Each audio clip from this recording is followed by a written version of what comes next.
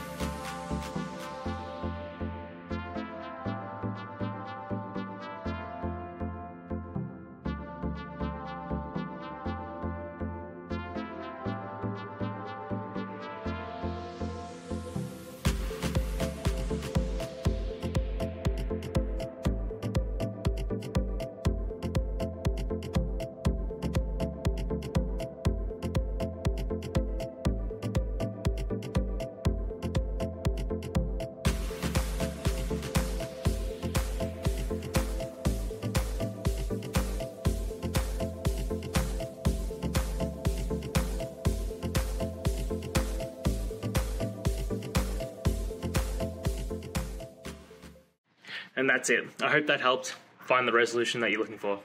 If it did, please hit subscribe. I really appreciate it. And until next time, I hope you have a good one. Cheers.